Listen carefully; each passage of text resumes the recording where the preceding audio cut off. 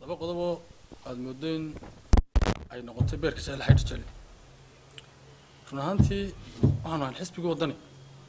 Kase koowe waxaanu ahayn laba dee beel ilaahay uur ka wada dhaliyo mataana laydhaa oo ku madoobay kuna walaaloobay uurka hooyadood markaan mataanaha le waa arabay garxajis. De waxaa la yidhi doqontu isheeda il keliyaatay cadowgeeda ku egtaa. Sagaal iyo sagaashanka kalena waxay ku egtaa nasteexeeda waxaad aragtaa muddooyinkan u dambeeyey in xisbigii waddani ama beeshii mataanaha la isku odhanayay. Aan anaguna faran mucaarida ku jirno.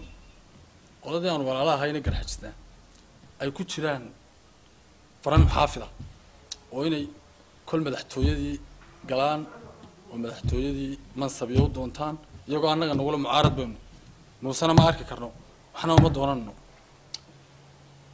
Taa waxaa ku xigta oo ka daran in markay madaxtooyadii galaan ay ka soo qaadayaan nacaybsho ay u qabaan labada mansabe annagoo xukuumaddii tabasho badan ka qabnaa oo waxla-aan badan ka qabnaa oo mansabyadu nagu yaryiin ay labadii mansabe keliya muuqanayay. Waa mansabkii waa kursigii jalanka ciidamada bilayska iyo kursigii guddoomiyaha komishanka ay labadii un taarget ka dhiganayaan in la bedelo. Waxaad arkaysaa calisenyo xalay u dambeeyey. Oo mataan ilaahay uu naga wada dhaliyey inuu aad nacaybshihiisa iyo hadalkiisaba uga muuqatay genaraal fadal. Oo uu ku celcelinayay inuu isku dirayo jabuuti iyo somalilan dad badan oo kale majority xisbiga waddani cid kaleba ma abbaaraba iyo beeshaan mataanahan walaalahan. Waxay taarget iyo mucaaridba wada arkeen. Iyadoo mucaarid xukuumaddii mas maxaafidka ka badanyay inay taarget ka dhigtaan guddoomiyaha komishanka cabdiqaadir imaan iyo jalanka ciidamada biliiska de waxaan leenahay qoladan aan walaalahanay mataanaha de idinkaa xagga xukuumadaha nagu dhaamo wax xodxodan jiray oo nagu madaxtooyadana galee.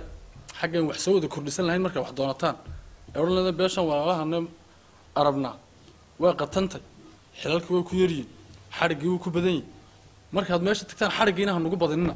Oo gurigii mataano xaafaddeydii buu ka furayo fawdo iyo rabashin baa annagii nagu soo kordhay. Maxamuud haybe iyo gacan libaaxna amni bay ku seexataa. Habeen kastana ciidanku waxay kulaalayaan annaga gurigii mataanaha ee arabiya garaxjise xaafaddeeda ku yaallay dad badan baa laga xiray.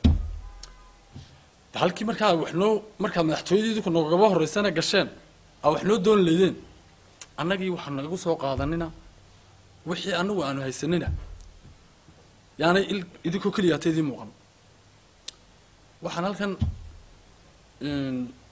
aan mar labaad iyo mar saddexaad ku celinayaa mataanaha ilahay uurba ka wada dhaliyo uurka hooyadood bay wada baxeen.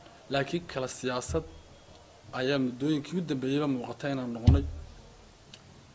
Waxaana leeyahay de marka horeba ilaa dawla somalilan mar labato mucaaridkaasaan anagu ku jirno farantaasaan ku jirnay. Walaalo dee mataano gadhowlida sidaa gafuur dhaafa waxaad doontaan doonta oo. Intaan anagu inta labadan midh aanu qawadsanay wax nalooga kordhinayo labadayadaa mansabun nala dhowra oo waxba taarget iyo xukuumadda dal dalka waxaa ka taliya madaxweyne. Iyaguma maamulaan labadana dhaliilaysaan madaxweynuhu hadduu janabku hadduu cid soo xidho nacaybsho isagu qabo maaha. Guddoomiyahan komishankuna de doorasho xor iyo xalaalun dhii ku daadan ayaa uu dalkii ka qabtay. Waa la ogaa ciise xamari waddanka ka qabtay. Majority xaafaddii dhalinyarteeda ugu badan la xasuuqay waxay xaafaddeeda. Maanu dhaliilin ciise xamari habeen keliyata t v lagama soo hadal qaadin lama caayin. Haddana idinkaan idi kaayagii maanta markuu qabtay doorashadii madaxweynaha baarlamaan iyo comis iyo deegaan waa golo soke kii madaxweynaha markuu qabtay dhiikubu daadana si amniga ayaa lagu kala calaf qaaday. Cod tira yarna laguma kala qaadin. Waxaan markaa u sheegaya xisbiga waddani ee aanu ka tirsanay iyo beesha walaalahane mataanahaba inay arkaan dee baroorta orgiga ka weynay inaan guddoomiyaha komishinkuna qalad lahayn jalanka ciidamada bilayskuna aan qalad lahayn